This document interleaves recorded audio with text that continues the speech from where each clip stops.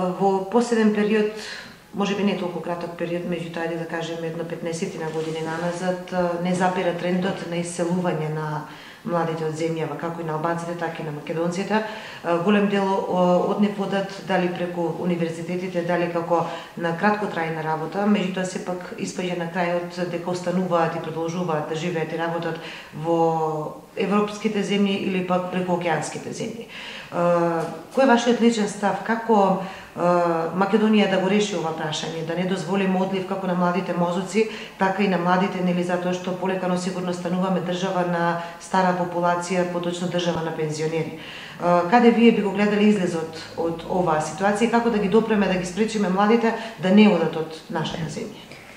А, јас сметам дека најпрво тој феноменот на што се вика мобилити, на движење, Значи, кога веќе имате отворена земја, отворени граници, можност за патување, е еден процес, на пример, кој вие не можете да го, да го пластично застанете.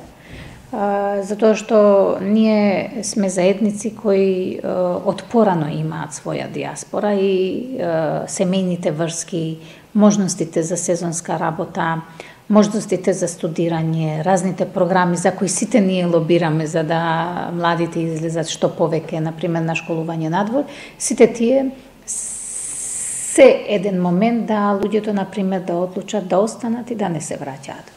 Но тоа што е, ние треба да го направиме и може да го направиме, доколку одлучиме да водиме сериозни политики во оваа прашање е например, да луѓето, младите кои добиваат искуство, истите да имаат можност да размислат дека тука имаат перспектива.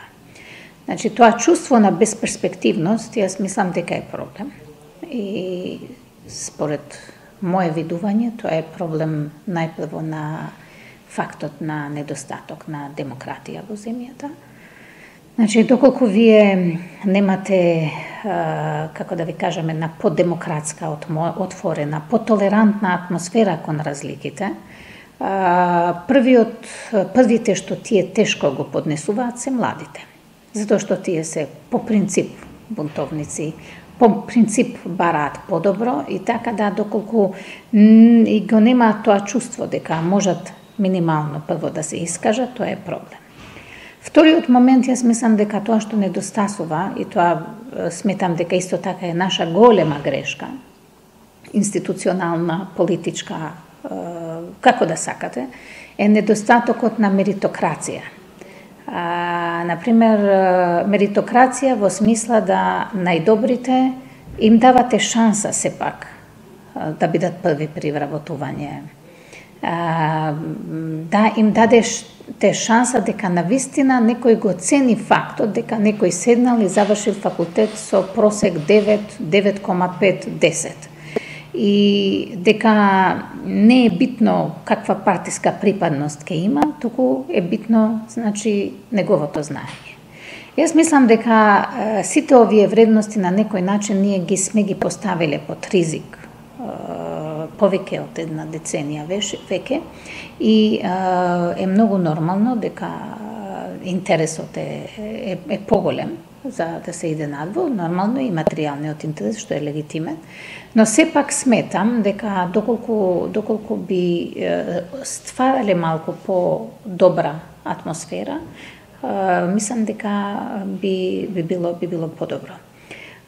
Вториот момент е исто така моментот на инвестиции но на конкретни вистински инвестиции. Например, ние неколку пати направивме состаноци со домашните овдешните бизниси во однос на презентирање пред нив на разните грантови кои ги даваат земјите каде што ние имаме диаспора. Една од нив е Швајцарија, но ништо полошо не е ни Данска Например, кои даваат грантови за да луѓето кои веќе работеле, да кажеме, 10 години таму, да можат да се грантираат со 500-600 илјади франци, за да можат да отварат бизнис тука. И на тој начин тие би мобилизирале повеќе повеќе ум, затоа што тоа ќе ќе им биде ќе им биде потребно. И нормално последно, а не помалку важно, се процесите поврзани со Европската Унија. Може би на многу луѓе тоа им изгледа како а, некоја папирологија меѓу, меѓу нас и Брисел, но тоа е многу повеќе од папирологија меѓу нас и Брисел. Значи, едно враќање кон процедурите на преговори со Европската Унија, исто така би отвориле повеќе можности и врати, особено, на пример, за нашата пообразована млада елита, која, на пример, би се вклучила значи, во, разни, во разни процеси кои не се ниту лесни, ниту кратки. Се тешки и се долги.